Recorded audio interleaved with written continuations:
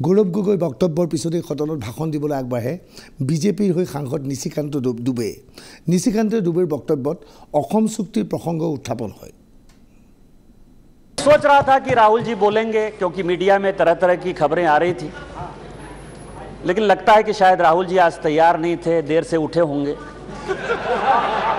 तो नहीं बोल पाए कोई बात नहीं है गौरव गोगोई जी ने बोला बहुत अच्छा बोला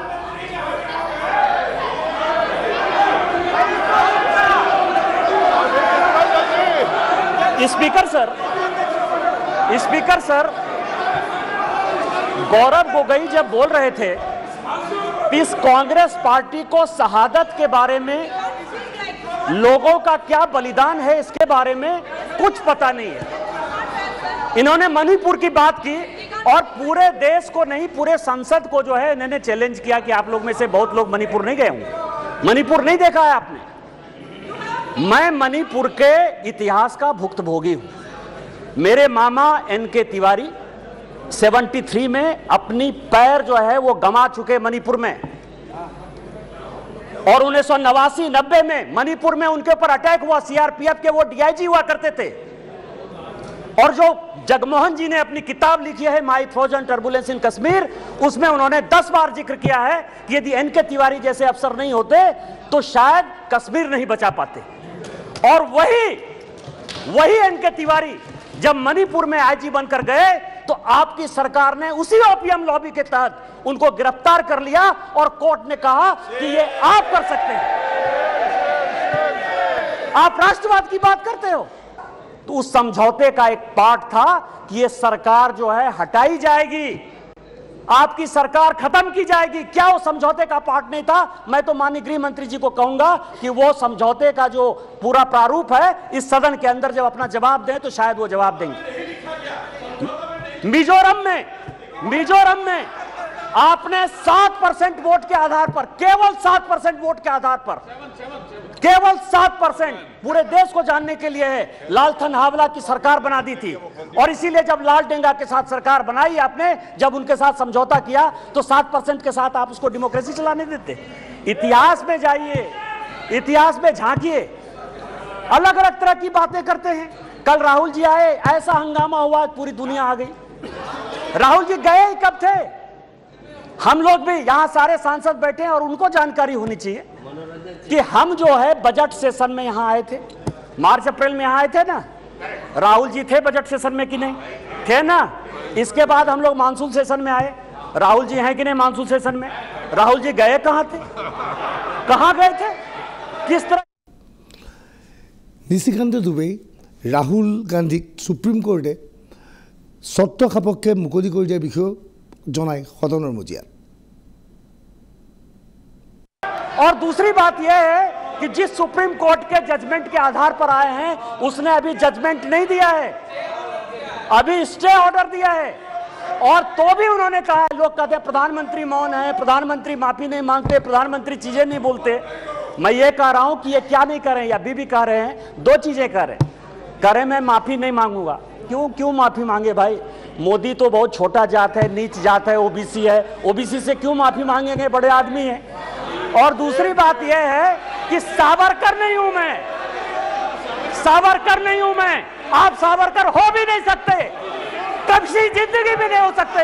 28 साल उस आदमी ने जेल में गुजारा है। आप अपनी तुलना सावरकर से करते कभी सावरकर नहीं हो सकते।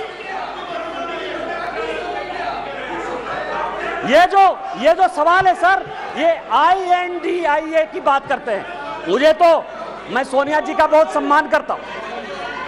और ये जो आई एन डी आई ए बना है, सर, ये आई एन डी आई ए यहाँ जितने लोग सांसद बैठे हैं ना, उनको रैंडम यदि आप पूछ लीजिए अपोजिशन वाले से कि आई एन डी आई ए का क्या फुल फॉर्म है, शायद कुछ ही लोग होंगे जो बता पाएँगे।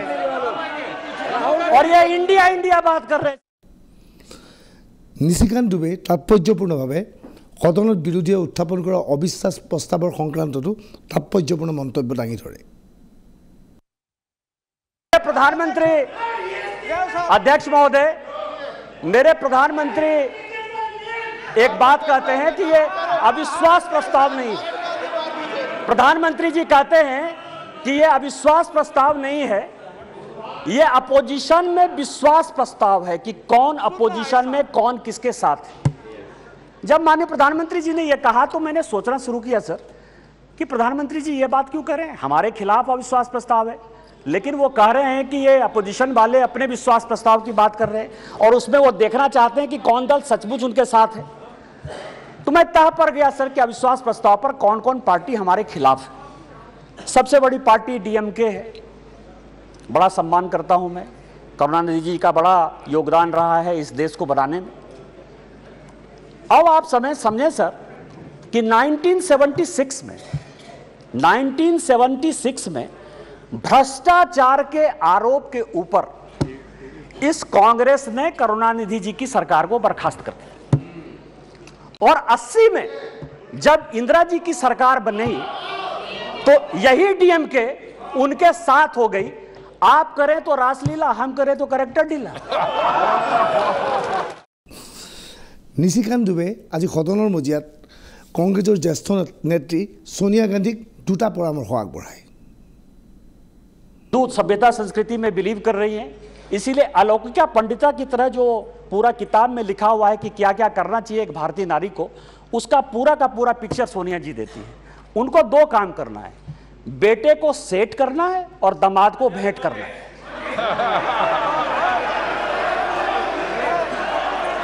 अरे जिसका नेम ले रहा है वो बोले ना। जिसका नेम ले रहा है वो बोले, ये लोग क्यों बोल रहे हैं? अध्यक्ष जी, जिसका नाम लिया जा रहा है वो सदन में मौजूद है। वो ऑब्जेक्शन नहीं कर रही है।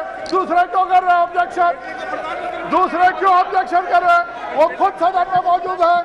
उनको कोई ऐतराज नहीं है दूसरे ऐतराज करने वाले कौन हो নিশিকান্ত দুবেৰ এই বক্তব্যৰ বিৰোধিতা কৰিছে অসমৰ কংগ্ৰেছৰ সাংসদ আব্দুল খালেকে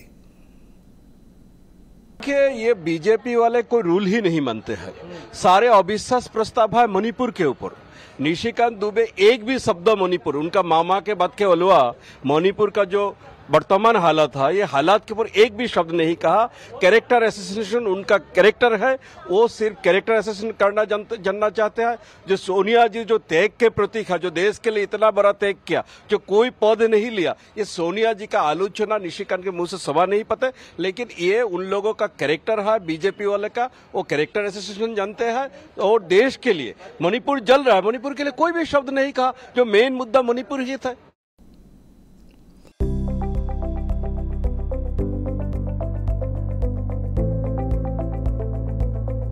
এন বি নিউজ সহজ সৰল ভাষাত নৱভাৰতৰ কথা।